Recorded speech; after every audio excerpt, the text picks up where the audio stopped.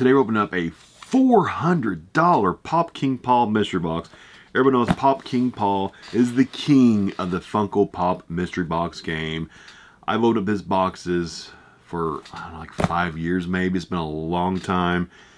He's one of the longest tenured mystery box companies on this YouTube channel. and I'm whittling down to, I think, my final three Pop King Paul boxes that I have, including this one. This was actually shipped back on May 28, 2023, so over a year ago, this was bought and shipped. So that was like, well, actually like 15 months ago. In 15 months, values have probably changed on most all the pops in here. Some of the bigger grails could have really gone down in value. Of course, that will not be Pop King Paul's fault. That's just the market on Funko Pops right now. But here's the details. $400 mystery box. The big boy kind of box. This is called Pop King Paul's Everyone Gets a Grail times two. Guaranteed overvalued mystery box at the time of packaging in May of 2023. This is August 2024. I'm filming this in August. It'll probably go up in September though. $4 per box plus shipping. He made 20 total boxes, 4 pops per box. It says price is taken for HobbyDB only as of May 27th, 2023, 15 months ago. So we can't really go by price because they've probably fluctuated. It says guaranteed overvalue. Everyone's a winner, no losers. Everyone's guaranteed a minimum of two grails. Any and all autograph pops are authenticated by one of the major autograph authenticators or companies, JSA, PSA, Beckett, SWAU, and so on. Pops are 7 out of 10 condition or better. Some of them are older pops. They may have some small box flaws, creases, shelf wear, window scuffs, etc some of these old pops, you can't help it. They're very, very hard to find in what you consider mint condition. So here's actually some of the top hits, okay? You ready for this? Some of the top hits available. You've got the OG Loki. That's like a 2012 pop, I think. 2011, 12, 2012, something like that. The uh, con sticker, Shock Trooper. The metallic Freddy Funko Optimus Prime. You've got a couple of the Mr. Toad SDCC things the Freddy Glow Chase, couple Iron Patriots. Of course, you got some autograph pops, uh, OG Doctor Doom. Then you're also looking at like the black and white Barnes & Noble Captain America. Uh, you've got some pretty decent pops available in this mystery box run. There's nothing, I mean, like the grail pieces aren't junk. So you ready to see what we got in here? I'm intrigued. This has been in storage for 15 months now. I have one of this run left, a $4 box. Then I found another Pop King Paul that I think that was a $280 box bought earlier in 2024. And I think that's the only ones I have left from Pop King Paul. That's it. So, I know, I think I'm out of several companies' boxes now, and I'm getting low on Pop King Paul's, very low on Smile World. I've got a ton of Boom Loot still and old Toy USA from like four to five years ago. And then a few sprinkled in. I think I had like one more Poptopia box from like a year or two ago.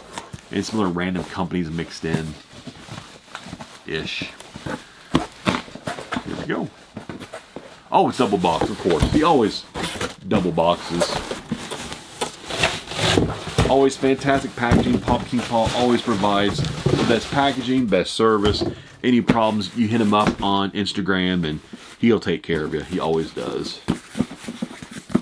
Hmm. Weight-wise, it's pretty evenly distributed. So it's probably like hard case, hard case, you know, like distributes the weight evenly. From the main picture, if it was like the big, big grails, I would love to hit that OG Loki, the Shock Trooper, the Optimus Prime. Probably those three would be like the three that would be like the most favorable to get out. Let's see what magic awaits us in a 15-month-old mystery box.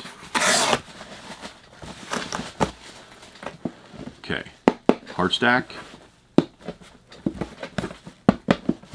Yeah, okay. Hard stack, hard stack, soft, soft. Do the soft ones first. Back says Space Jam. We've got Marvin the Martian. This is vaulted. 15 months ago, it was $39. What it's worth today, we will find out. This came out in 2017, so it is a seven-year-old pop. Actually, it's over seven years old now because it came out July, or it was May, July, would have come out then in actually like October, November. Usually takes three to four months after production date to actually come out. So seven year old pop. Okay, this soft one.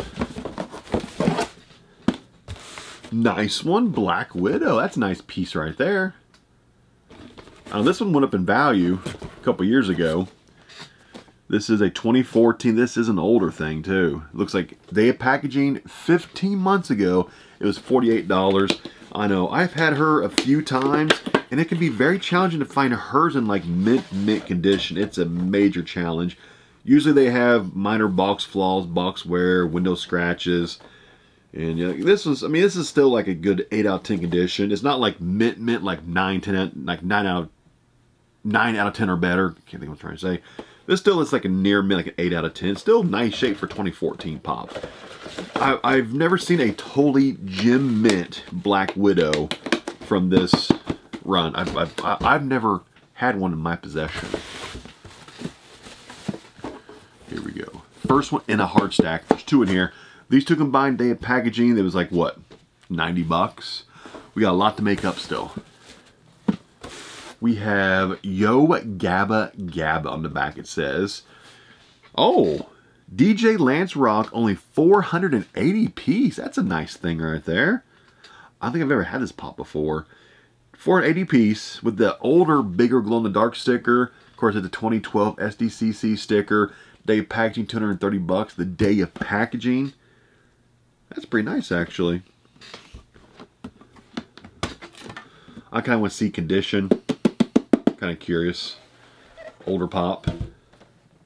Oh, that's nice. Oh, okay, that's actually very nice condition. For a 12-year-old pop, that's pretty mint. Impressive. No box damage. Stickers are fully intact. No sticker swappage. Nice. That's actually in really, really nice condition. Impressive. Okay. Day packaging 230. This is probably the big hit in this box, I bet. I bet it is, but it's a nice hit right there. Here you go. Last one, pop number four. Oh, that's always a nice one. The Anti-Venom Funko Pop. This thing used to be like a massive grail. It it it dropped in value because it restocked overseas on like a what's that site called? Pop Culture, does that sound right? They restocked it only overseas and they really hurt the value of it.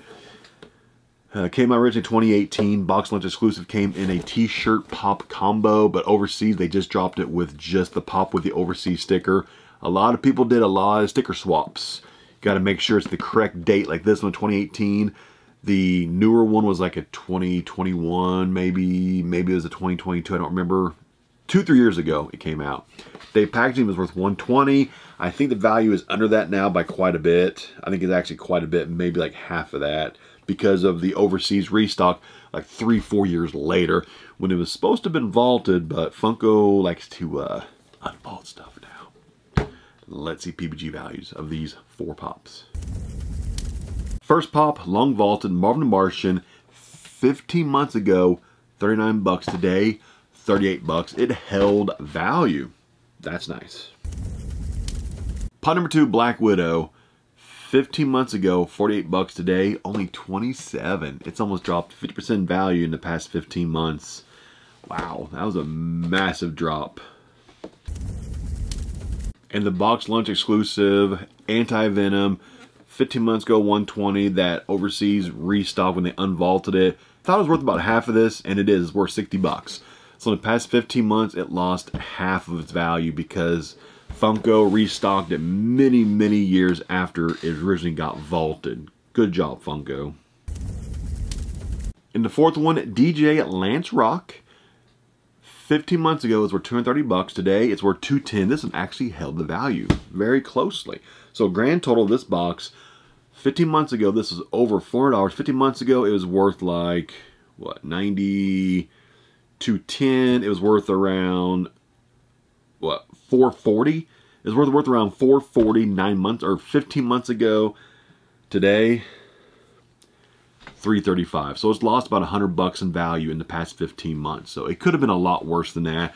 But the day of packaging, whenever Paul made this box, it was worth 10% over what the box cost. It was a nice return, but 15 months later, the pop market has really gone gone down. So I mean, it's still it's four fantastic pops, older pops. Everything looks to be in nice shape. Everything was packaged beautifully, so no complaints whatsoever. It's just the value of pops just aren't healthy like they were even a year ago. But that's the pop market. Anyway, these four will be for sale in my Whatnot Marketplace shop. Link on the screen right now and down below. You can click on it in the description box of the video. If that's your first time going to it and creating your first account, you will save 15 bucks on your first purchase only if you use my link. I put all my pops exclusively only for sale in my Whatnot Marketplace shop. I list pops sporadically. They sell very quickly because I price them under market value. They don't last long. So check back multiple times per week. See if I threw up some more pops. And if they, if I did, grab them because if you don't, somebody else will for my steal and deal prices.